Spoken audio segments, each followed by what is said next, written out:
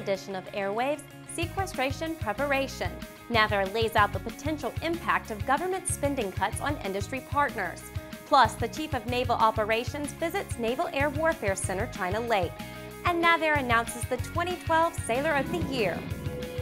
Welcome to this edition of Airwaves. I'm Michael Lauren Prue. NAVAIR leadership met with industry partners to prepare for government sequestration. NAVAIR Deputy Commander Gary Newton says he expects to see a 25% cut in operations and maintenance Navy funds.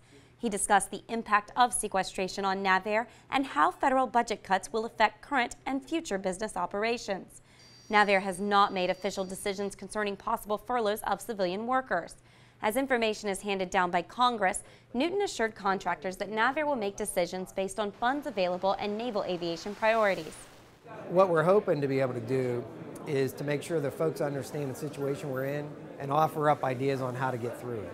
So there's a lot of times where when we have tough challenges uh, supporting naval aviation, if you surround yourself with really hardworking people who are great, good uh, creative minds and you give them a tough problem, they'll come up with some pretty interesting ways to get through it. Uh, so we're hoping that that same recipe applies to this situation and the folks can give us some ideas on how, how to get through this the best way possible. Congress has until March 27th to lay out a new budget, which may include a 9% cut to defense spending each year until 2021. Funding pressures have already impacted the fleet. The Navy has delayed the deployment of USS Harry S. Truman and USS Gettysburg to the Persian Gulf and delayed the overhaul of USS Lincoln. Vital and critical. That's how Chief of Naval Operations Admiral Jonathan Greenert describes Naval Air Warfare Center Weapons Division. The CNO recently visited China Lake to tour the facilities and learn more about the command's unique capabilities and assets. The visit included a walking tour of the Advanced Weapons Laboratory and a discussion about what NAWCWD is doing to develop cost-effective solutions and increase speed to the fleet. You get the genesis of the idea, uh, somebody pulls it together, then you test it and you certify right here. And that's desperately needed. The brilliance of people in here that come out here to the desert and take their thing on and bring it, you know, from birth all the way through to delivery. That was really uh, impressive. You can read more about the CNO's visit to China Lake by visiting the NAVAIR news page at www.navair.navy.mil forward slash news.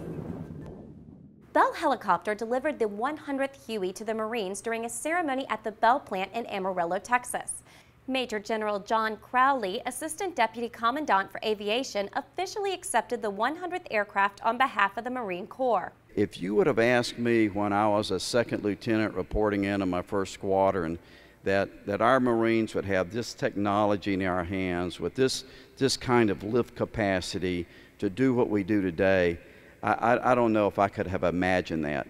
You have imagined that. It's, it's a great team that we have here. And thank you so much for putting the effort and the innovation into this program. It's paid off, and it should strike fear in the hearts of those adversaries of the United States of America. The H-1 helicopter program is comprised of both the UH-1 Yankee utility helicopter and the AH-1 Zulu attack helicopter. NAVAIR has announced its 2012 Sailor of the Year. The NAVAIR Sailor of the Year is AE1 Ryan Kirk. Congratulations to aviation electrician's mate, first class Ryan Kirk. He was selected NAVAIR Sailor of the Year during a ceremony at NAS Patuxent River. Kirk, one of three finalists, says he's surprised by the news. It's a shock. it kind of, uh, it definitely reflects the work that I've done. Uh, the Chiefs mess that supported me and the support of my family as well. Uh, but I, am still kind of, I'm shaking, my nerves are, are a, little, a little rattled.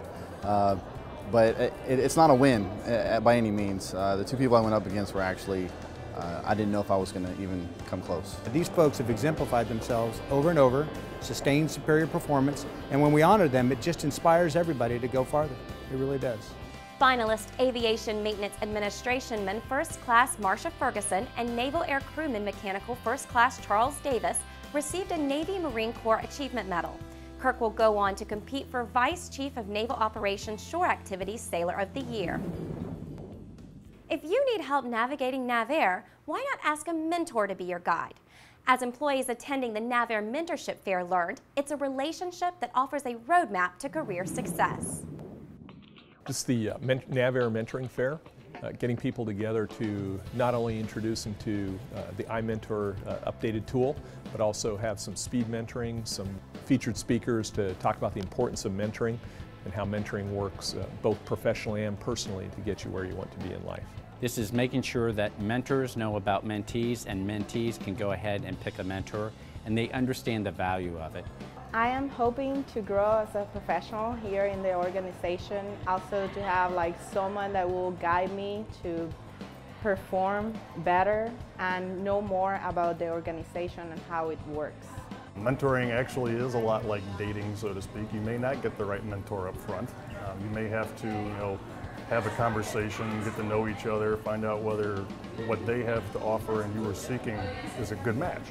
Uh, they did some great upgrades to the tool and I am very excited to like upload my photo and put all the new information and see if I can find a good match for me. They always talk about if you want to be a, an excellent student, be a teacher. You know, you learn more through teaching, and mentoring is kind of the same. It, it causes you to reflect upon your own career, your own skill sets, your own successes, your own failures, and how you can learn about yourself as much as you learn about your mentoree although we may think that nobody has all the answers. So if you can tap into that expertise elsewhere, be it within your organization or outside another part of the organization, uh, that's important. That helps build your toolkit and gives you the ability to be a, a broader, more effective employee, leader, supervisor, uh, anything. It, it works both ways.